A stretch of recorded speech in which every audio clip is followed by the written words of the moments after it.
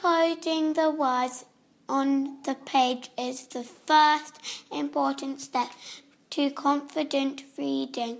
Some schools are really good at teaching systematic synthetic phonics. We want to encourage them to help other schools by becoming phonics partners so that more children can become better readers.